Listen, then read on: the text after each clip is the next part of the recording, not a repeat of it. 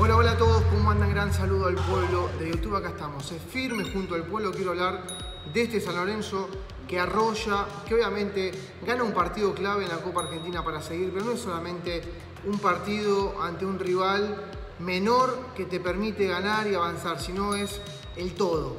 Es el combo Rubén Darío Insúa, es el combo del sentido de pertenencia, es el combo de agarrar un fierro caliente, de hacerse cargo de decir acá estoy yo, de poner el pecho, de ganarse la confianza de la gente, de ser cercano y ser transparente, porque el gallego en Suba es eso, es un tipo sencillo, es un tipo que le tira munición pesada a Tinelli, es un tipo que cuando tiene que decir las cosas de frente las dice, es un tipo que lo sentó a Gatoni, que se estaba por ir libre, y le dijo, mira, no te peleo con la dirigencia, fue mediador, unió las partes, hace que San Lorenzo pueda cobrar un dinero más que importante. Es un técnico que obviamente da sabiduría. Es un técnico que no es soberbio, es un técnico sencillo, no usa chupines, no habla de vinculación vinculante, no habla de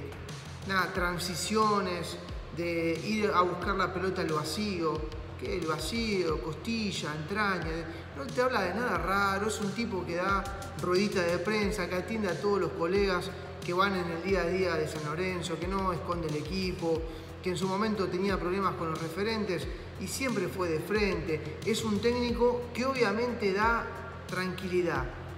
Al hincha de San Lorenzo, el gallego Insúa le dio paz, le dio estabilidad emocional, le dio la posibilidad de creer, le dio la posibilidad de empezar a construir con un granito de arena todos los días y con una base de laburo, de trabajar, un sentido de pertenencia que hace mucho tiempo San Lorenzo no tenía. Por eso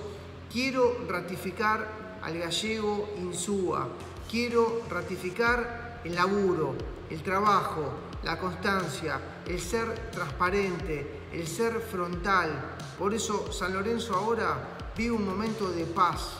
de mucha tranquilidad futbolística, puntera, puntero en el campeonato,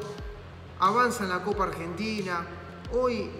pone a Blandi que Blandi, sinceramente, le tenían que poner un poquito de W40 porque hace mucho tiempo no jugaba y el tipo entra, te hace goles, te potencia a Bomberrar que va a jugar con la selección de Eslovenia y permanentemente reinventa. Le dio la confianza a Vareiro. Eh, el arquero parece que atajó siempre en San Lorenzo, ya la gente se olvidó de Torrico, no porque se haya olvidado, sino porque encontró en batalla un arquero seguro, un arquero que da confianza, una defensa aguerrida, un mediocampo, un mediocampo comprometido, batallador,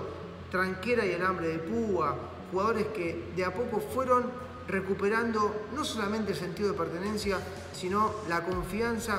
y saber que más allá de no tener quizás grandes nombres, jerarquía, apellidos pesados, el gallego en Suba armó un equipo y un equipo muchas veces es más importante que nombres propios. Por eso San Lorenzo, en medio de un quilombo institucional que vive hace un tiempo largo, hizo que hoy el hincha de San Lorenzo se ilusione y que compita. Y va a jugar Copa Sudamericana, y compite en el torneo local y compite en la Copa Argentina. Después quizás no sale campeón porque es muy difícil mantener el nivel durante mucho tiempo, pero de lo que sí estoy seguro es que San Lorenzo encontró paz, que el hincha llena la cancha, que llega el fin de semana y tienen ganas de ir a ver a, San Lorenzo porque es un equipo. Y la base, la base de este equipo es la cabeza, es su técnico, es Rubén Darío Insúa. Por eso más allá de analizar futbolísticamente lo que ha dejado este partido, que para mí es muy positivo ante un rival menor como Deportivo Armenio, hay muchas cosas positivas, pero no se puede analizar mucho, porque San Lorenzo fue muy superior, lo pasó por arriba, se notó la diferencia de categoría, pero más allá de esto, insisto, quiero valorar y distinguir el trabajo de su técnico, que acomodó todo, a la dirigencia, al plantel, a las inferiores, puso la cocina donde tiene que ir, el inodoro en el baño, la mesa en el comedor y listo. Con el Wrangler, comiendo donde come siempre, no subiéndose los patos a la cabeza, nada, tranquilidad.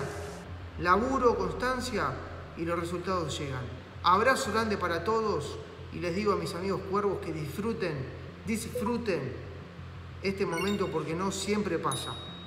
¿Eh? Miren lo que pasa en, otros equipos como Independiente, por ejemplo.